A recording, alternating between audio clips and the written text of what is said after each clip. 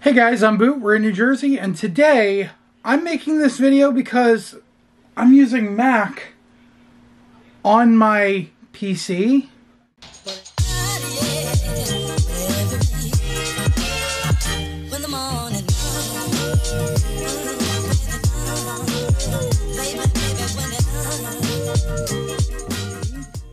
But it's AMD.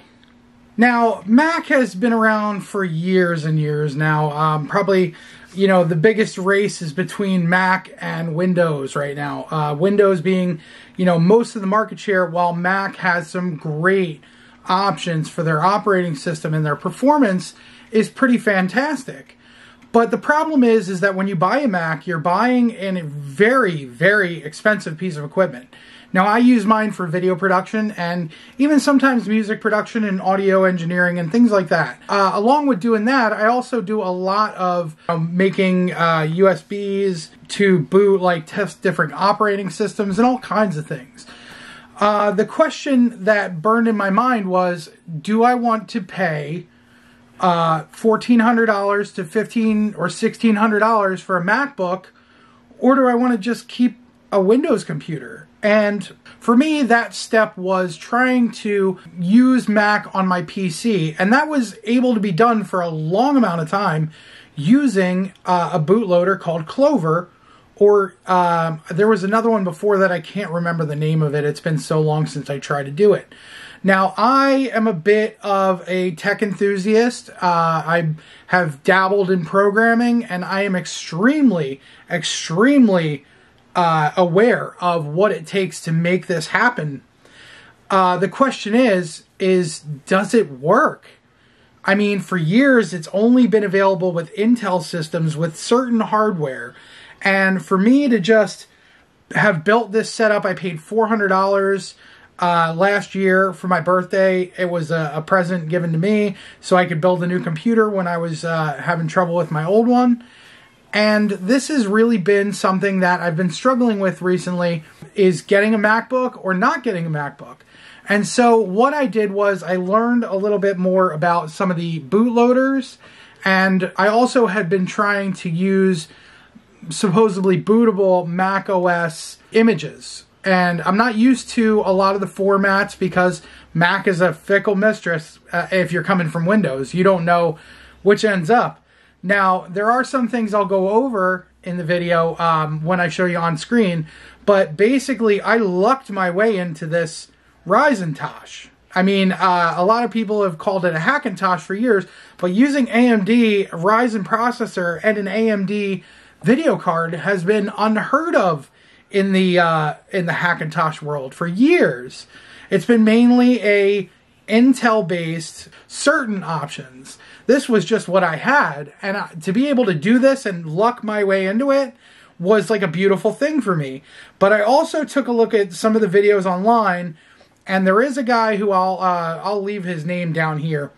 Um, but he has a great YouTube channel. He was using uh, Hackintosh with Intel for a while, and then he went over to Ryzentosh probably I think three or four months ago and he has some phenomenal information about the different bootloaders. And I never even thought about it until after I saw his videos that what you get is actually a bootloader, and you have to install kexts to it, which are drivers in the Windows sense. Basically, if you don't have a configuration file with all these things listed in in the right way, you're boned and you can't boot up your operating system.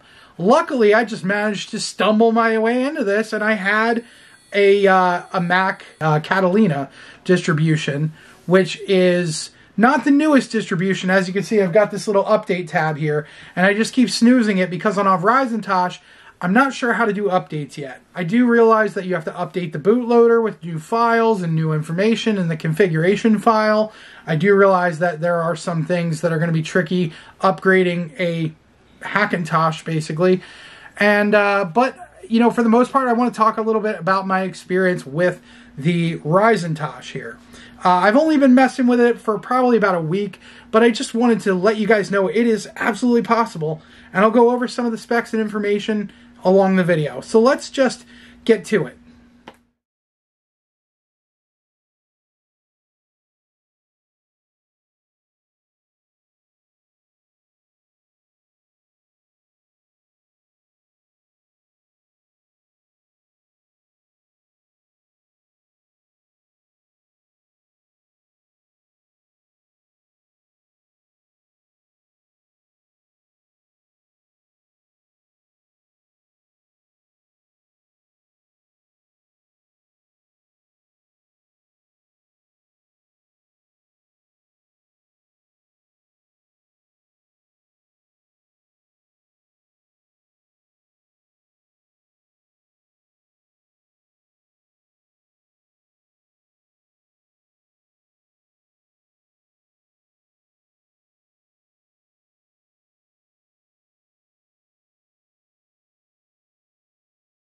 Okay guys, so this is my Mac setup. Um, right now I have some programs that I need to get rid of.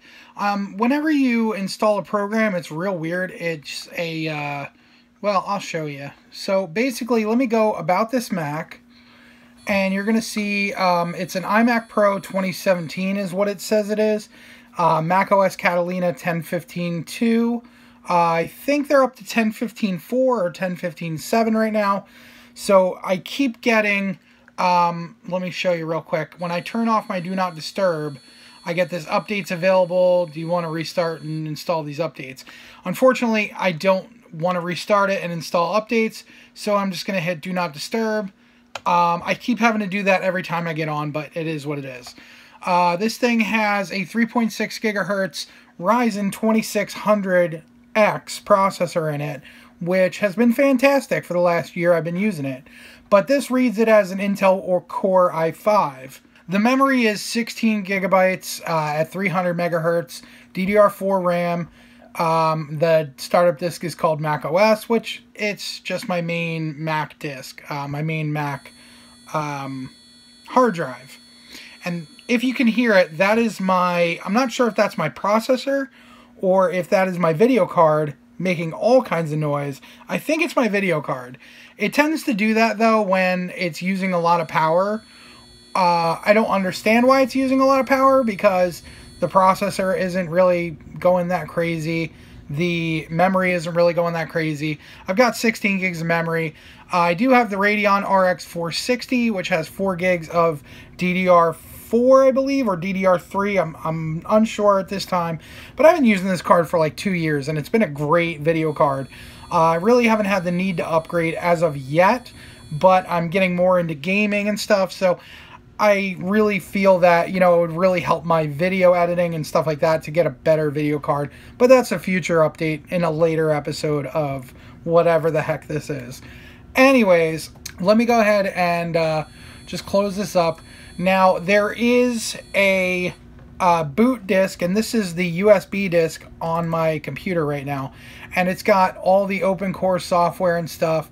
Uh, in the EFI folder, I have my OpenCore and my boot. I want to say that I added some files from a Clover bootloader and brought them into here into the Kexts because I had to um, you know, just bring them in. I have some of them in here that are not listed on the config list, but I did manually have to like push them through using Hackintool to um, bring in a couple of extra kexts here, like this unsupported one. Uh, that's for the um, internet and the Wi-Fi, and um, that is for my Edimax N150. It's an EW7811UN looks like this. And I originally got this for the Raspberry Pi, but I really never used it. You have to put these kexts together, and I just kind of dumb lucked my way into it. But the problem I didn't understand was I was using a bunch of uh, DMG, which is basically a disk image for Mac, uh, kind of like an ISO if you are a Windows user. So, anyways, let me go ahead and close that down. Uh, and then this Mac OS is a USB hot swappable hard drive setup that I have going where I just stuck in the hard drive and it's good to go. Uh, downloaded stuff, unfortunately, when you download things, um, it goes into the downloads folder, and right now all you can see is open in Finder. There's nothing in the downloads folder because I moved it over to downloaded stuff which in here I have my hack and Hackintool stuff, I have the um, other kexts, some lock screen stuff. I was trying to do some screensaver stuff, and then I found out one of the crucial things about a Ryzen Tosh is that you can't let it go to sleep. If it goes to sleep and the disk, you know, goes to sleep and the screen goes to sleep, you'll never get it back, and you just have to hard reboot. Um, and of course, that lies with some other challenges as well. Uh, I do have the Ryzen Tosh uh, updated files here, which I got. Um, that was a big thing because it had some of the other kexts that I needed to come back to this.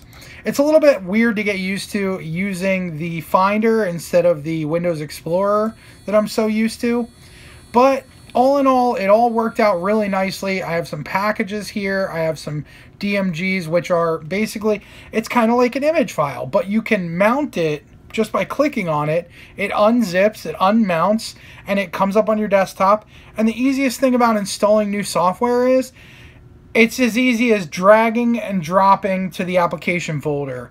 Everything's done in the background in a really clean and minimalistic way. Unlike Windows, which you have to go through this whole rigmarole of setting things up, other things need to be added, other dependencies, and things like that. And so it's just a big pain in the ass. That's where this differs, and that's the thing I like about Mac OS. Moving on from that, let me go back um, to these two hard drives here are three terabyte hard drives. They are basically my Windows backup stuff. So anything that I have saved, I saved into these two big hard drives. Uh, one of them has my Windows programs on it. Uh, the other one has my backups, my archives, I call it. Uh, and I put that on the newest hard drive I got because the old hard drive I've been using for close to a year and I didn't want to risk uh, losing that hard drive and losing all that information because this is basically archives of archives of archives that I've had these files for like 10 or more years. Some of them going back to when I used to play in a band and we had our studio stuff. And then even when I moved to Tennessee, I was doing a recording with a pastor there who she wanted to put together like a, a little demo album. And that's what we did. And so I have all those files saved, all the backing tracks, all the, you know, information through uh, Fruity Loops, which I used. The only problem is, is that I cannot use my version of Fruity Loops in Mac OS, so I'm gonna have to see if I can download that. But I do have uh, GarageBand, which is pretty cool. Uh, I haven't finished downloading some of the stuff for that. Uh, as far as video editing, I use Wondershare Filmora 9, which they just updated it, and it's a little bit hinky on Windows. And when I say hinky, I mean, um, you know, having to pre-render your clips. Uh, I've had a lot of crashing with it. They just did a recent update where it was supposed to give better support to the GPU for, um, you know, for rendering and for exporting videos, or what I call the mixdown. And by the time it does all that, you end up waiting longer than the video is long. So I did a uh, 10 minute video, maybe a little bit longer with Ali last week, where it was a Fortnite video, and it literally took me 16 to 18 minutes to render the video. So I was not a happy camper at that point, and I did not like the update. I have not gotten to use it yet in Mac, uh, aside from, you know, just kind of opening projects, trying things out and just moving things around and trying to figure out like trying to keep all my files together but separated between Mac and Windows so that you know when the time comes I'll have already done those videos those things will still be put away but you know like this project here uh, sorry I have to block it out but I'm going to open the project and it's going to show me in the middle here so I'm going to skip over ahead of this this video is like 31 minutes before I cut it. But as you can see, um, let me go ahead and make this full screen here. If you double click on the top, it's full screen. Where there's the menu, usually it's actually up in the very top here, which is a little bit weird. And sometimes my mouse just does that. I don't know if you saw that, but the mouse just went whoop and got real big and then real small. Sometimes that happens and it weirds me out. I can hear my video processor going ape shit right now, but what I can say about the Mac version of this program is it's been fantastic. Uh, I can actually scroll back and forth. Oh no, I'm actually just making it bigger and smaller. um, I can, well, let me go ahead and play a little bit. So let me zoom back out because it's a little bit just crazy. But as you can see, I can grab this and just drag and scrub through my footage all I want, which is beautiful. And also watching it, I can put it in full scale preview and it runs phenomenally. Phenomenally. As you can see there, it's working beautifully. And um, I, unfortunately, the controls are a little bit different. I did have macro keys set up on Windows, so I could just use my number pad as my macro keys. This is a little bit different. I notice when I do shortcuts, let me go ahead. Oh, see, I keep activating the launcher by accident. I'm going to close this out. Sorry, that project is blocked. But as you can see, you know, I've got my video projects set up right here. I've got my downloaded stuff over here. All of the apps actually work really well except for FaceTime and messages. I have problems with those on here, but I've actually heard regular Macs have those problems too. So it's not a surprise in any capacity that, you know, I would have some issue there. Um, maybe after I figure out how to update this thing, you know, it'll be different. Uh, I was able to download Epic Games Launcher, and for some reason, I'm not going to launch it here because I do have a lot of issues with it. Uh, my internet is running off a wireless dongle, which took me forever to figure out how to get that to work. I don't have a LAN connection upstairs. I'm working on that, getting my Wi-Fi set up, but I have to use a wireless dongle for internet, and so I had to find software for that. And luckily, I was able to get into the vanilla open core information sheet and the guide. And I'll tell you what, go over to the open core guide if you're trying and trying. Go there because there's a lot of good information from there, and there's a lot of people who really worked hard on all these kexts and and did their research and did their R&D and you know all that just to make this work and I applaud these guys because they are so hard working at this stuff and they're enthusiasts they don't get paid to do this they do it out of the kindness of their hearts and you know the ability to progress software and hardware integration into Hackintosh and Ryzen Tosh. So thank you guys because that is amazing. Uh, the fact that I can even use this is so amazing. I do have some issues with the sound um, devices on this. I can't really use the sound card um, with volume. As you can see right now, I'm using a third party um, app to use sound and be able to control the volume of it. But I use this, um, my monitor sound through HDMI, and it works great if I want to be really loud or if I want to see something really loud. So luckily I'm able to use uh, YouTube videos and turn them down, or my video editing software, I can turn down the volume on that, or I can just go for headphones and then I have volume control. So there's that. Um, like I said, I'm a noob and I'm still trying to figure it out, but I'm getting there slowly but surely. Uh, amazingly, the App Store works really well. Uh, there are some apps I'm not used to because I use an iPhone. Uh, I was hoping that those apps would kind of carry over, but there's a little bit of difference here. I mean, like I said, I'm able to use GarageBand. I'm able to use uh, iMovie, which is great. I actually downloaded that uh, iMovie is on here. So I ended up going with OBS, but Record It had me download that third party uh, sound driver thing. Uh, it's called Soundflower. So it has a 64 channel and a 2 channel, it looks like. So I have no idea. I haven't really messed with it at all. But this is like my first impressions of this system is like, holy crap. Now, there is a way where you can get the Mac OS disk to boot up without this boot disk. Um, and you can use Hackintosh or Hackintool to install Kexts and make it work. But I don't really see the need to do that because I'm just experimenting right now. And I don't want to bork my own system.